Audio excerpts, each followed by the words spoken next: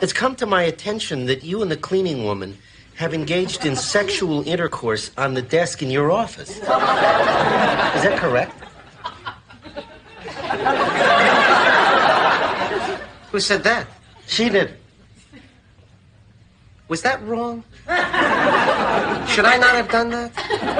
I tell you, I gotta plead ignorance on this thing because if anyone had said anything to me at all when I first started here that that sort of thing was frowned upon,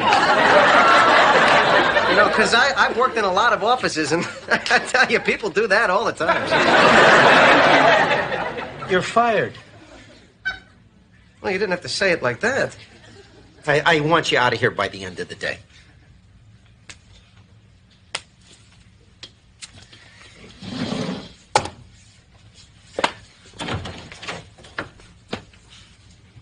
What about the whole Christmas spirit thing? Any flexibility there?